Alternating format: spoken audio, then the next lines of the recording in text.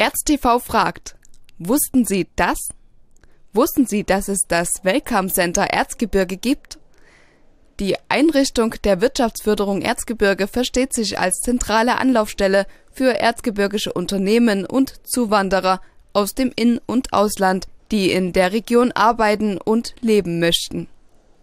Seit Gründung des Welcome Center Erzgebirge im Juli 2016 hat es nach eigenen Angaben 256 Rückkehrer bzw. Zuwanderer aus Deutschland individuell beraten, hierbei auch in 80 Prozent der Fälle mehrere Kontaktaufnahmen und Beratungsthemen je Fall.